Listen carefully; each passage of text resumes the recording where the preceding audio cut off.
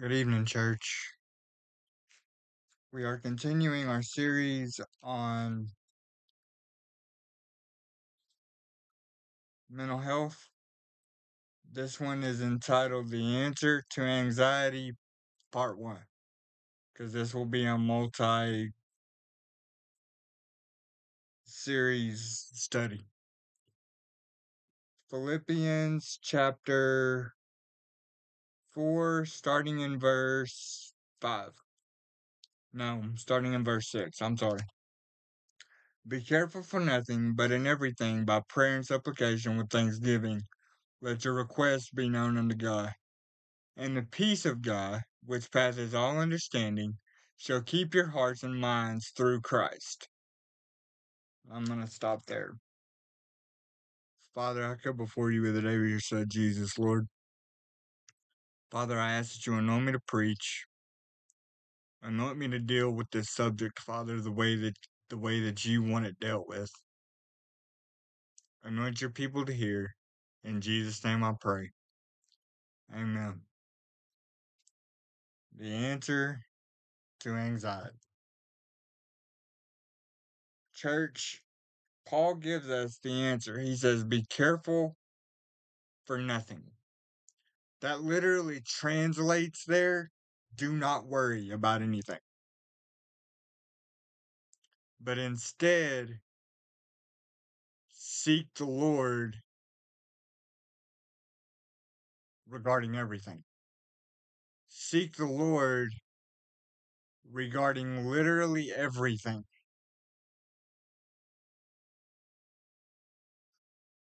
Do we, are we praying for whatever is worrying us? Myself included. Church, I'm preaching this out of a state right now. I'm having to walk through it. I'm not just preaching this to pre- I'm literally walking through this. And there are circumstances that I will not relate, but I am literally walking through this. I'm literally having to trust him with things that that that that have been worrying me. Things that that I've been that I've allowed to be burdened and heavy laden with. And the Bible says here Be careful for nothing, but in everything by prayer and supplications with thanksgiving. Let your requests be known unto God, and the peace of God, which passes all understanding, shall keep your minds and hearts through Jesus Christ. Worry and anxiety don't mix with faith. We all find ourselves at times in a storm. we all find ourselves at times in a storm and, and he's asleep in the boat. And the waves are contrary and we can't lord we're going to drown. They literally woke him up and said lord carest thou not that we perish it is the same way with us. Lord i'm drowning. I can't see a way out. You're going to have to help me through this. Church but he is a good good father. He didn't bring you Okay, I'm going to give y'all another example. Peter was the only one other than Christ to ever walk on water. But when he got his eyes off of Christ and onto the storm, what happened? He began to sink. Christ had to reach down and pick him up. And they walked back to the boat together. See, we could get our eyes off of Christ and onto the storm. And when we do, fear and anxiety set in. Lord, how am I going to fix this? How am I going to get to the other side of the, of the of the sea when the storm is raging? You're asleep in the stern of the boat and and I the boat is taking on water and Lord, I don't know what to do. When he arises and speaks and speaks to your storm and says, Peace be still. But the thing is, are we okay when he doesn't still the storm? When instead he stills us. Now, did you catch what I just said? Sometimes he allows the storm to rage, instead, he stills us. Instead, he steals our troubled heart. The storm is still raging, church, but he can steal your heart in the midst of it to trust him through the storm. Paul tells the church at Philippi to be careful for nothing, but in everything by prayer and supplication with thanksgiving make our re- make our requests be known unto God, and the peace of God that surpasses all understanding shall keep your minds and hearts through Christ. See, at times the storm rages and he gives peace. We want him to speak to our mountain, to our valley, to our sea, and say, Peace be still. We want him to, to speak to the mountain, Be thou removed. There are times when he doesn't move the mountain where he expects us to climb it. He doesn't still the storm, like I said. Instead, he stills us. I've got you. The storm is raging, yes, but you're in the palm of my hand. Everything around you is falling apart, but you're in the palm of my hand. Everything around you feels like it's falling and feels like it's crumbling, you're in the palm of my hand. I point you back to, to, to Job, church. He lost everything. His kids died lost. Now, now think about what I just said. His kids died lost his wife told him to curse God and die. He lost his health. He lost his wealth. And he did not understand what was going on. But yet, through it all, he would say, Though you slay me yet, my Lord, though you slay me yet, will I trust you? Lord, I don't know why you're why why everything's gone. Pardon the expression to heck in a handbasket. I don't know why you're allowing lost loved ones to, to, to, to continue the way they're continuing. I don't know why you're allowing circumstances that you're allowing, but though you slay me, yet I'll trust you. Through it all, Father, yet I'll trust you. The storm is raging and he's asleep.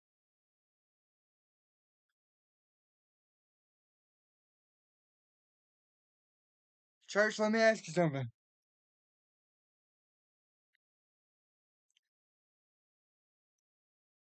And this is to me too. Could it be him allowing the storm to rage to draw us closer to him?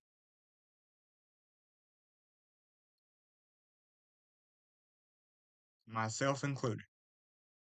Myself first. See, we don't like going through the storm. We don't like the enemy being allowed to to kind of play with us. But ultimately, you go and you read the end of the book of Job. The Bible says that he ended up with more, twice as much as he had before Satan was allowed to tempt and to test.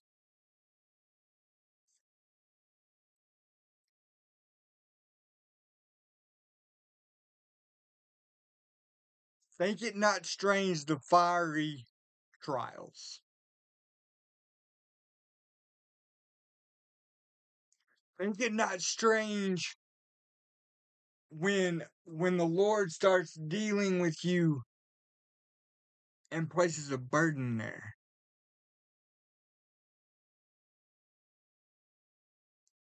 Think it not strange when the Lord starts birthing things in you to be seeking Him about in the midst of your storm because it's oftentimes in the midst of the storm when we finally start seeking Him. We don't seek Him when everything, when the sea is calm. Everything was fine when the sea was calm. Everything was fine when when everything's smooth. But when adversity hits, how do we deal with it? Paul said, Be careful for nothing. That literally translates worry over nothing. But in everything, by prayer and supplications with thanksgiving, let your requests be known unto God. So you're telling me to go to him with thanksgiving when I'm praying for a lost loved one? So so so Pastor JB, you're telling me that to to to go with him to go to him with thanksgiving when everything around me's falling apart. You're telling me to thank him when my world is crumbling. Yes. Why? Because when we go to Him in prayer and we start praising Him for what He has done, it strengthens our faith. It strengthens our faith. Lord, you brought me through this, this, this, this, and this. You brought me through the valley, like I preached on Sunday. You've brought me through the fire. You brought me through the wilderness. So we can trust you with what we're dealing with now. It's not easy.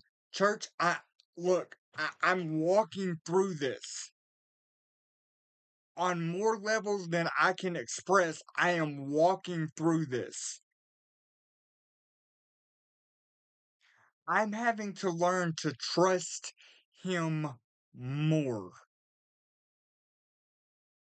even in the midst of the storm, even in the midst of of whatever the case, I am being I have to trust him. Though you slay me, yet I'll trust you. Father, you're allowing what you're allowing for a reason. I don't understand it. I don't understand how people can ha- have to walk through what they're walking through.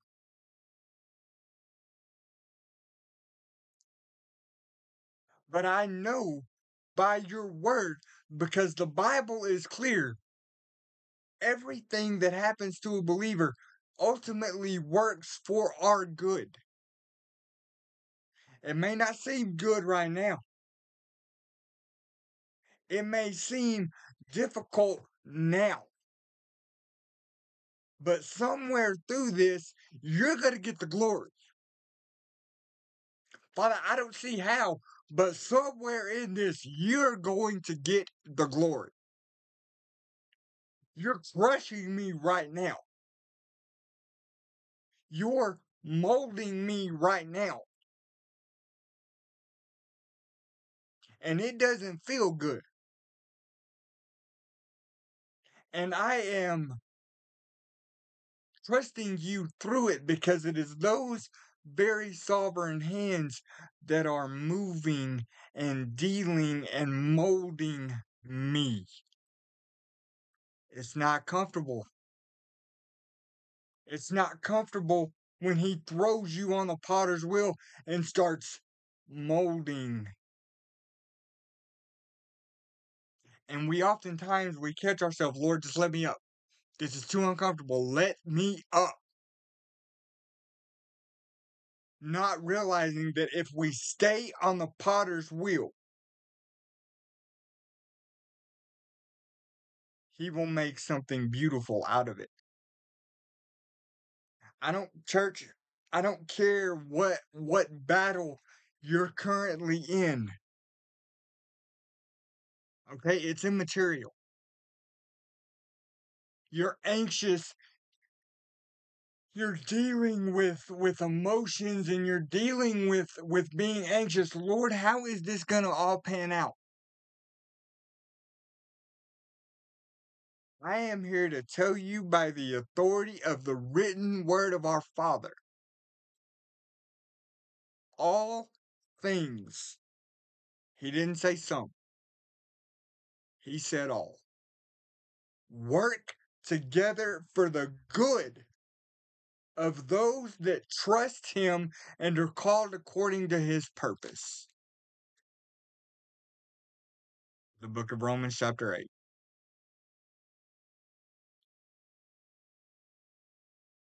So he may be allowing you to go through the hardest trial you've ever went through. He may be allowing you to to to go through like the walls are closing in. And, and you're thinking, Lord, I can't do this no more. This is too hard.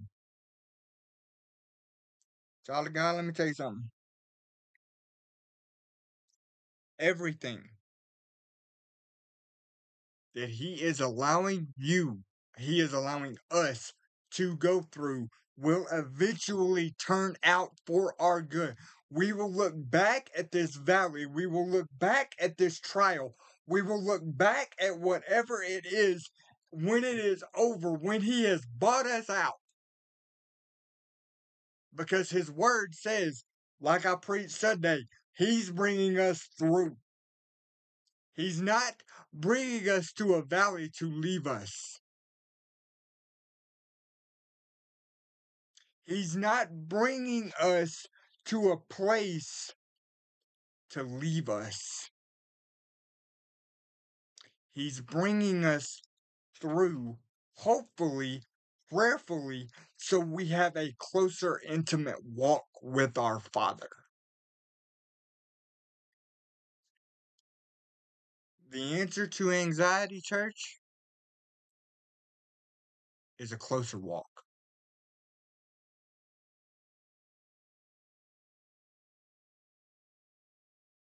The closer you draw to Calvary, the closer you allow Him to draw you, the more intimate work He does.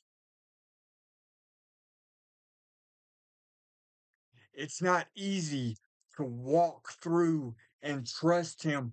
Lord, I don't see how this is going to work. But you told me to do this. I'm having to trust you with it. I don't see how you can save this lost loved one. I don't see how you can restore whatever the case. But you have said I will restore everything in Joel 2 that the cankerworm has eaten. I don't see how you're going to restore it, but I'm standing on your word. Wow. Church, you can trust him. You think your anxiety is a shock to him? Mm-mm. But it is not his will that we worry over it. It is his desire that we learn how to take everything to him in prayer. Lord, this is bo- bothering me. I need you to give me peace about it. Because notice what the Bible says. And the peace of God, which passeth all understanding, shall keep your hearts and minds through Christ. The peace of God is stronger than whatever you're facing. He died on Calvary to give you peace. He died on Calvary to give you peace. You think it's His will that you're anxious?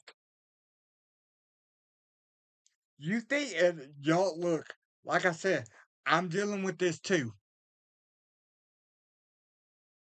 I'm walking through this too.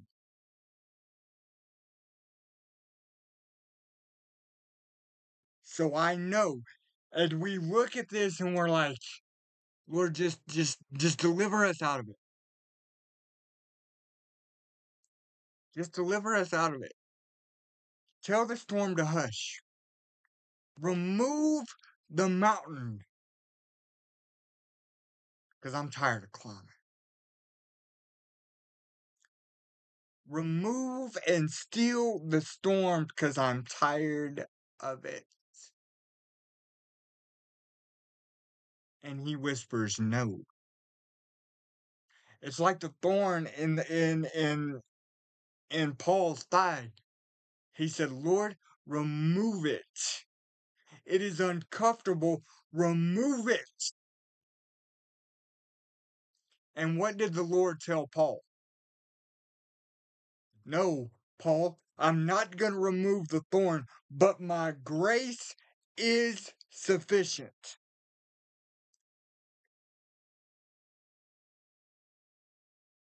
Church, He will keep your minds and hearts in perfect peace if we will allow Him to do it. And I, like I said, I'm walking through this.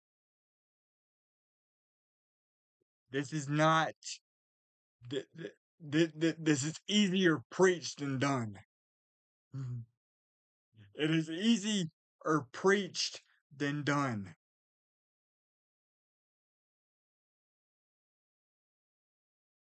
Because we want to fix it. It is human nature. Lord, I want to fix this. I don't want to wait on you to fix it. I want to fix it.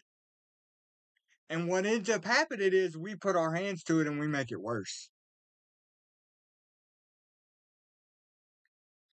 We put our hands to it and we make it worse. Instead of laying it at his feet and saying, Father, here you go. I'm tired. Here you go. And the reality of it is, church,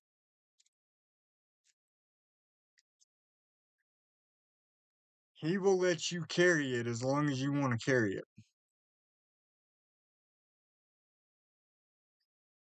He will allow you to carry it as long as you want to carry it. But eventually, that weight becomes so heavy that we finally say, Lord, I can't do this no more. And prayerfully lay it at His feet.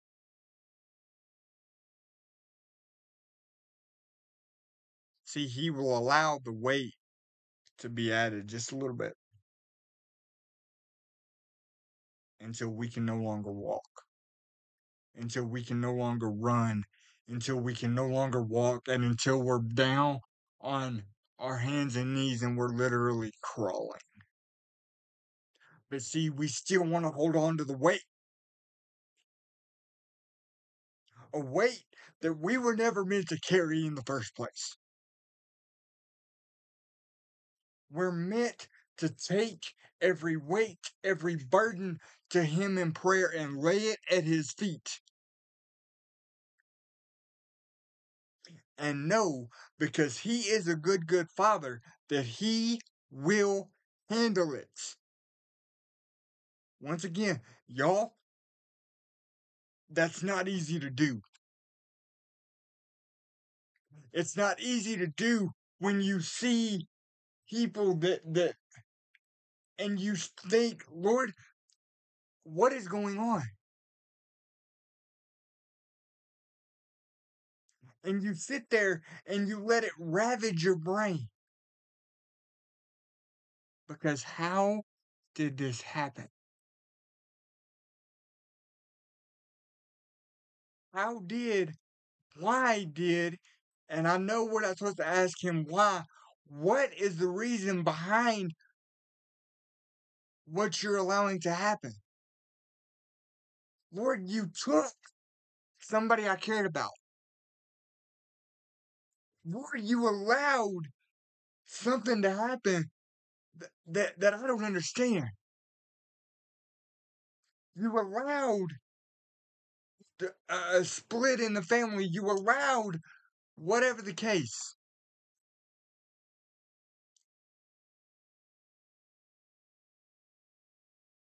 And oftentimes we allow that to draw us back from Him.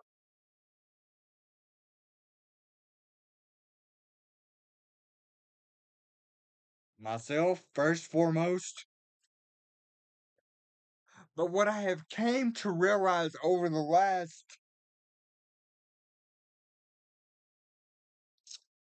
what month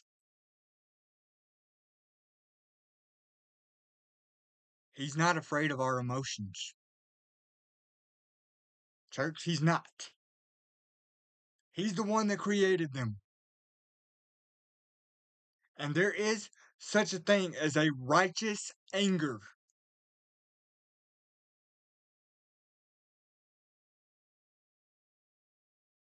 I can't explain. I'm going to leave that alone. But there are things he doesn't expect us to carry. He expects us to lay it at his feet. Paul said, Be careful for nothing, but by in everything by prayer and supplication. You want to know the answer?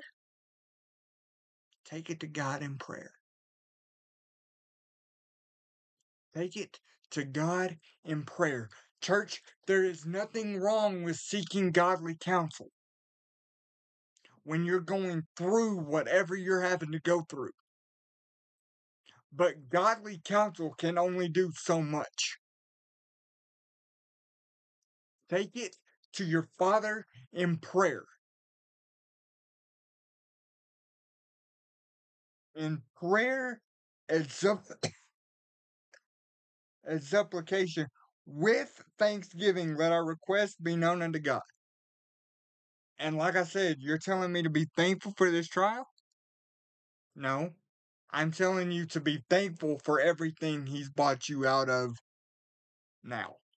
I'm th- I- I'm telling you to thank him for everything he's done because it inst- it it it bursts, it instills, it lights the flame of faith in you when you recount what he's already brought you through.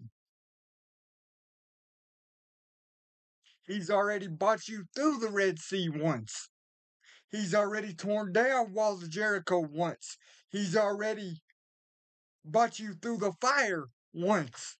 So you can trust him to deliver you out of the anxiety and the, the, the depression and whatever you're dealing with.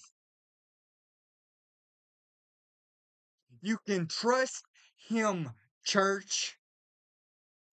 You can trust him, JB. The reality. We can trust him.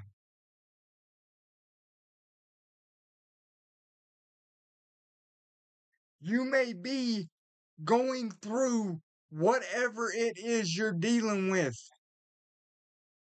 and you feel like he's left you, and your thoughts are going a million miles an hour. Lord, where are you at? Why am I having to go through this? You said in your word you wouldn't give us more than we could bear, but you would make a way out. Lord, this is more than I can bear.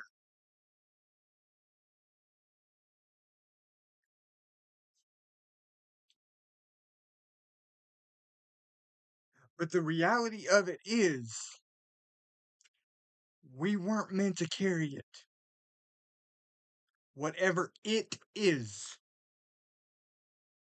But by everything through prayer and supplication, letting our request be known unto God, and the peace of God which passeth all understanding shall keep your hearts.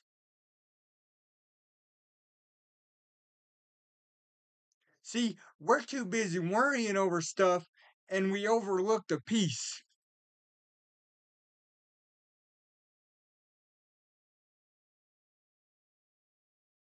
The Bible says the peace of God shall keep our hearts and minds through Christ. See, He paid for our peace at Calvary. Satan, look, y'all, the Bible says Satan comes but to steal, kill, and destroy. He wants to steal our peace. He wants to kill our peace. By Lord, he wants to kill our peace. He wants to destroy our peace. You think it's the Lord's will that he destroy our peace? No. Seek the Lord.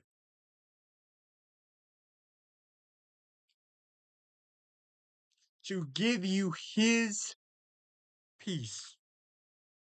A peace that passes all understanding. A peace that says, Lord, even though the storm is raging, I trust you. Even though I'm going through the fire, Lord, there's that fourth man in the fire. Lord, even though I'm in the valley, you're going to see me through it. Lord, even though I'm in a prison, I'm going to praise you out of it.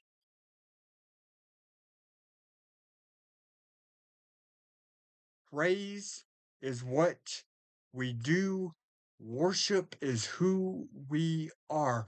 Are we worshiping and praising through the storm?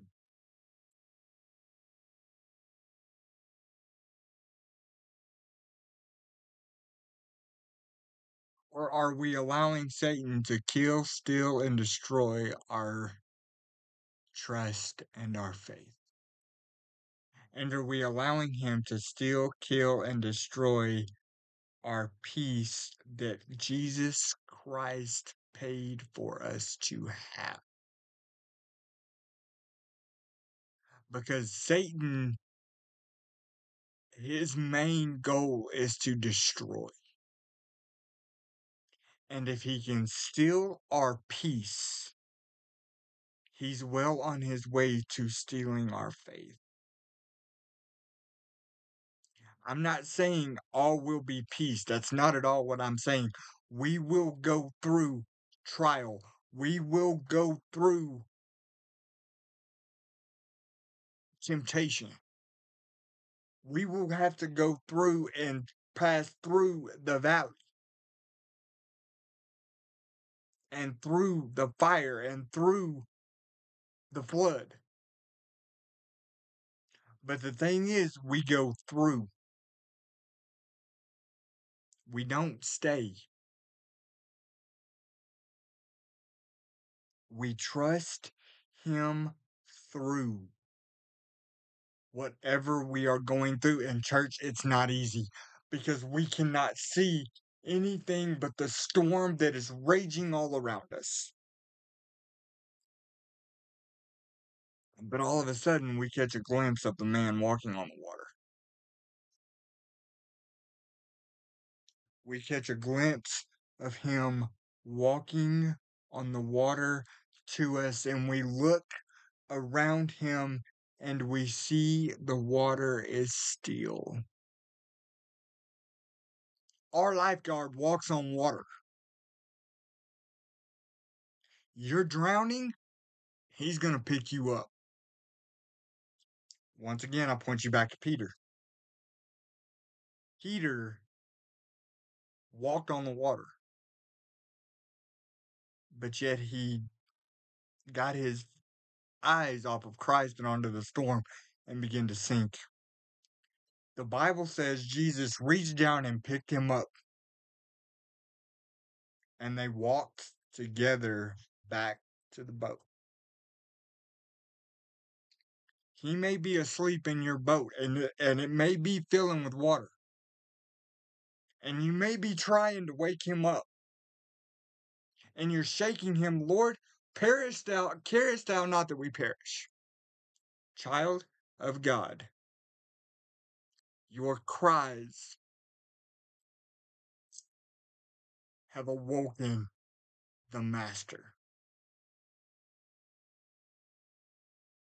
Your cries have awoken the Master, and you can rest assured that even if he doesn't steal the storm, he steals the storm on the inside of his child. You're not alone, child of God.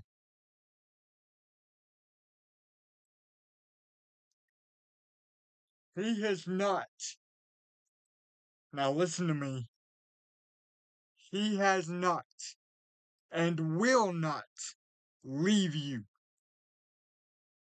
And I know Satan comes in and he's like, he's let you. I've got you, you're mine.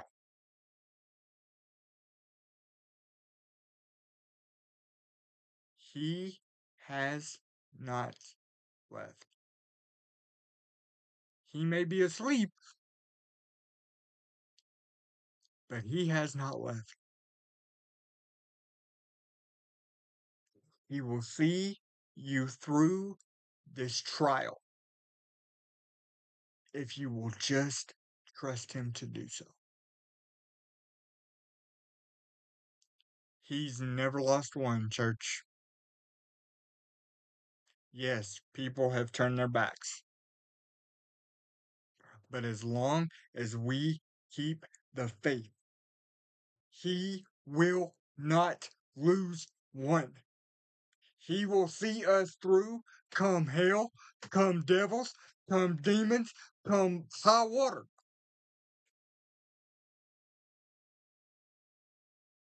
Because once again, he walks on water. You may be drowning or feel like you're drowning. He walks on water and he will walk to save you. You can trust him, church,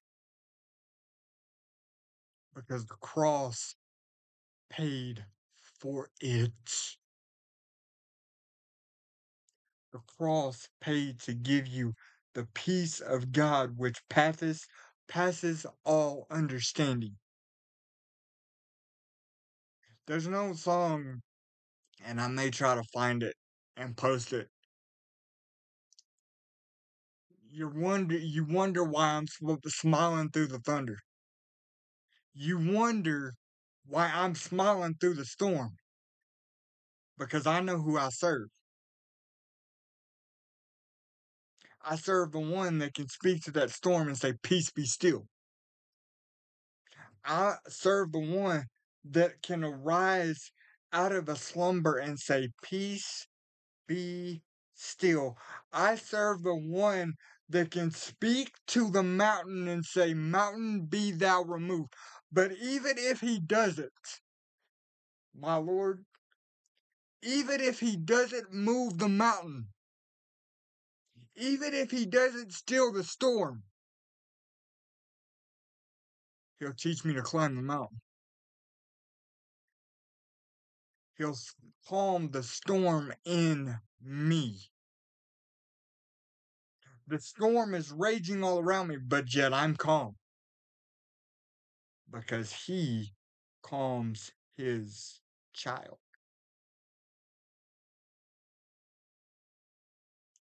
Child of God,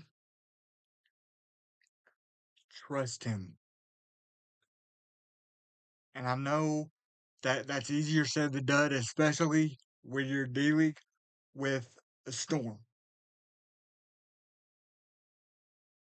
But you can rest assured he has not left.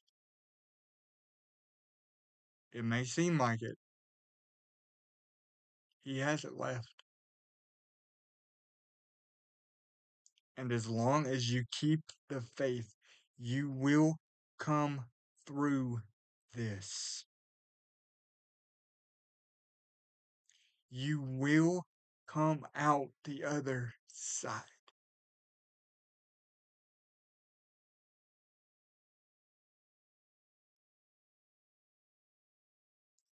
Father, I come before you in the name of your Son, Jesus, Lord.